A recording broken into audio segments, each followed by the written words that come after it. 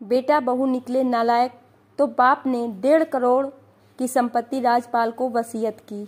उत्तर प्रदेश के मुजफ्फरनगर में नालायक बेटे के व्यवहार से आहत 80 साल के एक बुज़ुर्ग ने अपनी सारी संपत्ति की वसीयत राजपाल के नाम कर दी। बुजुर्गवार ने वसीयत में ये भी घोषणा की कि उसकी मृत्यु के बाद अंतिम संस्कार में भी उसकी नालायक औलाद शामिल न हो। मिली जानकारी के अनुसार मुजफ्फरनगर के बुढ़ाना तहसील के गाँव बिराल निवासी 80 वर्षीय नत्थू सिंह का भरा पूरा परिवार है। पत्नी की 20 साल पहले बीमारी के चलते मौत हो चुकी है। नत्थू सिंह अपने दो बेटों और चार बेटियों का विवाह कर चुके हैं। एक बेटे की मृत्यु हो चुकी है, जबकि दूसरा बेटा सहारनपुर में सरकारी शिक्षक है। पिछले पाँच माह से नत्थू सिंह वृद्धा आश्रम में रहने को मजबूर हैं। बताया कि ये हालात तब बने जब उन्हें रोटी भी नसीब होना मुश्किल हो गई। बेटे और पुत्र वधु के व्यवहार से आहत नत्थू सिंह ने बताया कि वह अपने हाथों से रोटी बनाते हैं और खाते हैं।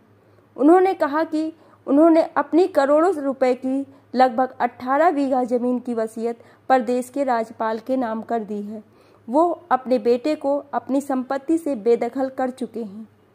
बेटे की नालायकी से आहत बुज़ुर्ग नत्थू सिंह ने कहा कि वह अदालत में भी जज के सामने कह चुके हैं कि चाहे उसे गोली मार दी जाए, एक बिस्सा ज़मीन किसी को नहीं देंगे। नत्थू सिंह ने बताया कि नालायक औलाद को संपत्ति से बेदखल कर सारी ज़मीन की वसीयत राजपाल के नाम कर दी है। नत्थू सिंह कहते हैं कि उन्होंने समाज के सामने ये एक नज़ीर पेश की है। पूरी चौबीसी में देख लिया जाए क्या किसी की औलाद इतनी नालायक है?